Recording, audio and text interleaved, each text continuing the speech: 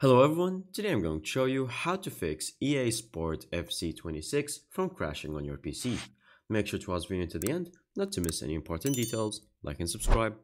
So from here in the EA app, you actually don't have to integrate anything in the app itself, but it's going to be from your memory integrity on your computer settings. To do so, all you have to do is to go to your settings, and then from here you're going to search for Windows Security. Once you search for Windows Security, you're going to click on the first button right here, and so from here it's going to show you this button. So we're going to go to security at a glance. I'm going to search for device security and then going to click on it. Once you click on device security, it's going to hit you with multiple options for core security, secure boot. And all you have to do is go to your core isolation details.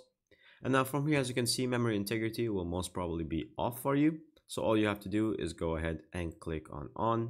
And so you're going to have to confirm it just give it a moment until it is. And so from here, going to require you to restart your device.